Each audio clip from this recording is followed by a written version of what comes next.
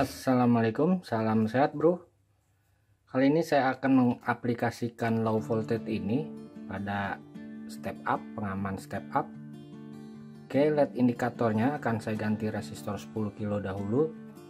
Untuk rangkaian ini bisa kalian lihat video saya di sini. Oke, saya ganti dahulu LED-nya dengan resistor 10 kilo. Oke, sudah saya pasang, kalian lihat seperti ini kontrolnya masuk ke enable. Setiap modul step up pasti ada enable nya nanti kita lihat datasheetnya dan untuk buktinya khusus para pemain RC yang menggunakan step up yang saya dengar rata-rata takut karena bisa rusak ini sebabnya. Jadi dengan rangkaian ini tidak akan terjadi kenaikan tegangan. Oke kita lihat dahulu datasheetnya Oke ini datasheet dari step up XL6009 Sekali lagi pemakaian step up ini berbahaya bila kalian menggunakan input baterai atau solar panel. Yang tegangan input drop mungkin sekali.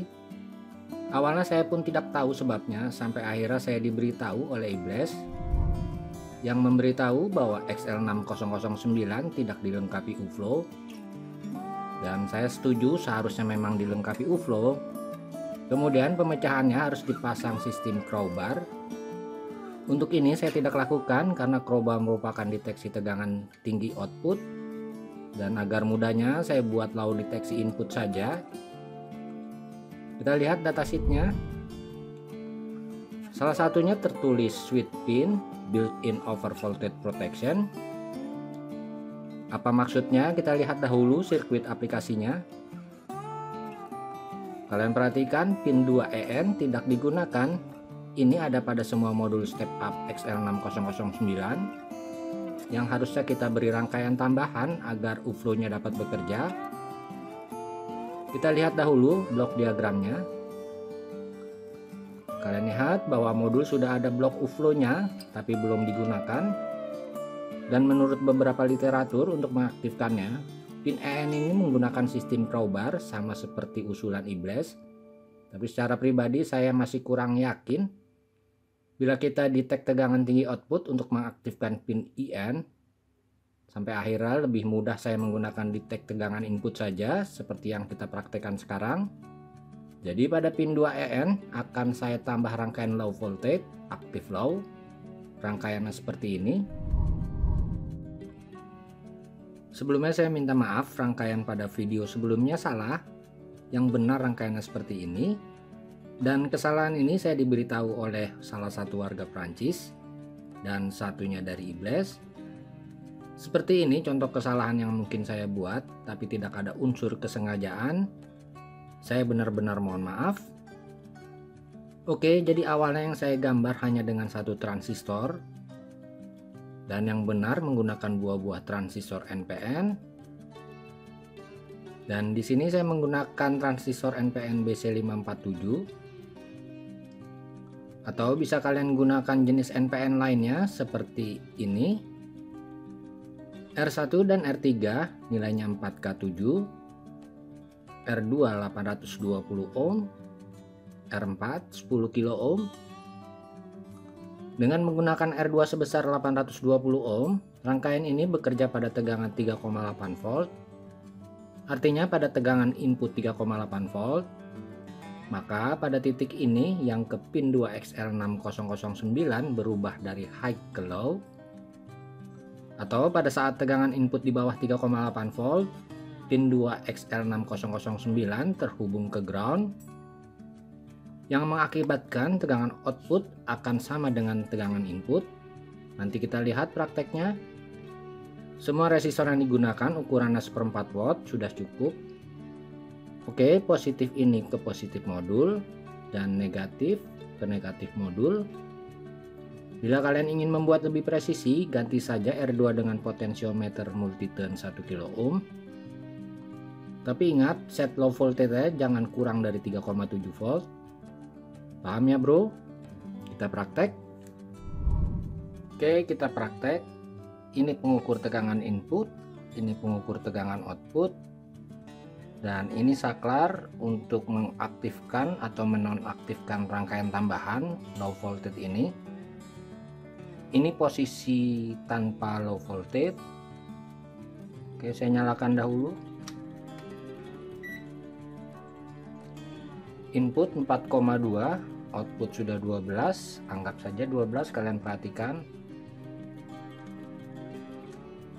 anggap saja tepat 12 Oke, karena tanpa rangkaian tambahan, bila tegangan turun di 3,6 volt, maka output akan naik. Kalian perhatikan. Ini saya belum menggunakan beban. Saya turunkan.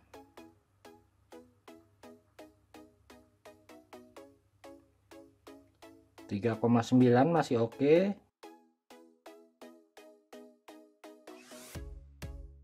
Tiga koma enam. Kalian perhatikan biasanya di 3,6 mulai naik. 36 ke bawah.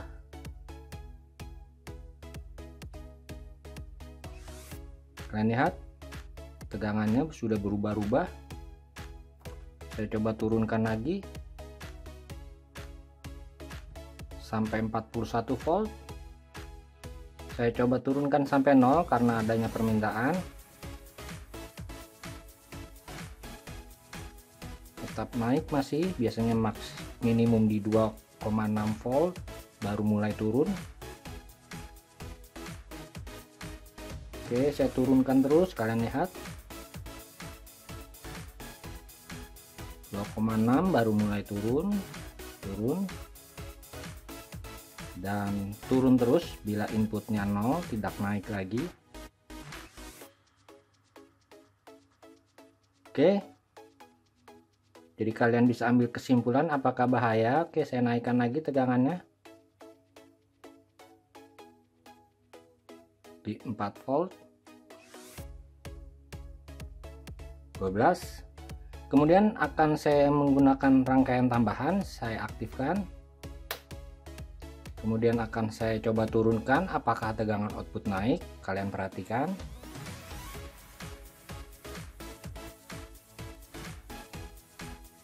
Kalian lihat langsung drop. Rangkaian ini memang aktif flow nya pada saat tegangan 3,8 atau 3,9 volt. Jadi bila kalian ingin lebih presisi gunakan R2 ganti dengan potensiometer multiten 1 kilo ohm Oke saya coba turunkan lagi kalian lihat. Pada saat tegangan 3,8 3,9 dia akan drop. Sorry terlalu cepat. Kalian lihat 3,9 masih oke. Saya turunkan lagi. Langsung drop tidak naik. Jadi rangkaian low voltage ini bekerja dengan baik jadi uflow nya ini jadi bekerja. Oke kemudian saya akan beri beban tanpa rangkaian tambahan tentunya. Saya matikan lagi. Tegangan saya naikkan dahulu. 12 volt saya aktifkan motornya. Oke biar ada terlihat putarannya saya beri plastik aja agar terdengar suaranya saya menggunakan tegangan 4,8 11 dan tanpa low voltage. Oke saya nyalakan motornya kalian dengar saja. Ini normal. 12 volt. Kemudian saya turunkan secara perlahan tegangan inputnya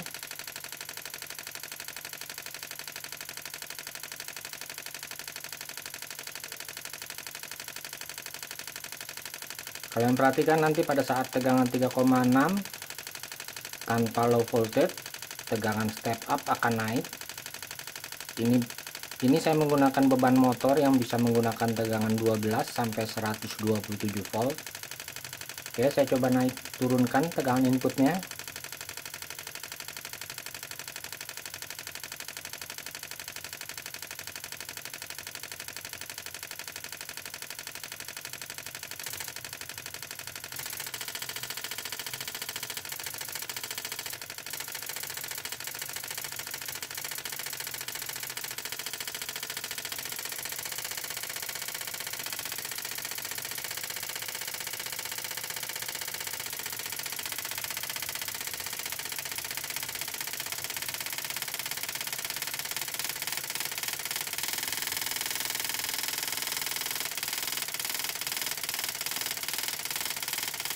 tidak stabil kalian lihat.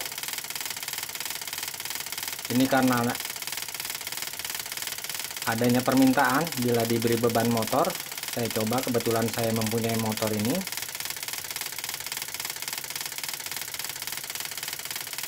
Saya perkecil lagi inputnya.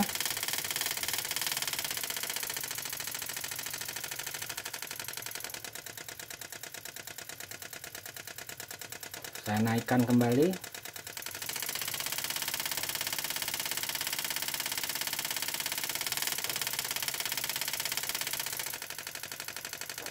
ya sudah normal di atas 3,6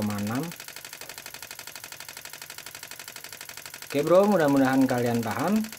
Terima kasih telah berkunjung. Salam sehat. Wassalamualaikum warahmatullahi wabarakatuh